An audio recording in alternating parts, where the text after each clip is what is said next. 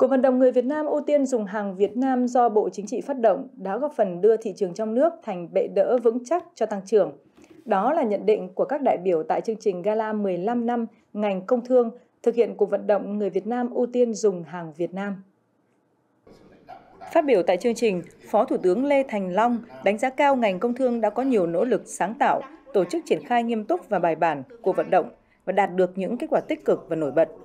Trong giai đoạn phát triển mới với xu hướng toàn cầu hóa và hội nhập quốc tế ngày càng sâu rộng, để kết quả thực hiện cuộc vận động người Việt Nam ưu tiên dùng hàng Việt Nam được toàn diện hơn nữa, Phó Thủ tướng đề nghị tiếp tục tổ chức quán triệt, tuyên truyền sâu rộng về cuộc vận động nhằm khơi dậy tinh thần yêu nước, ý chí tự lực, tự cường, trí tuệ, bản lĩnh, trách nhiệm, khát vọng vươn lên của người Việt Nam trong sản xuất, kinh doanh, quảng bá và sử dụng hàng Việt Nam. Tiếp tục tạo sự chuyển biến thực sự về nhận thức và hành động của các cấp, các ngành, doanh nghiệp và người dân trong thực hiện cuộc vận động.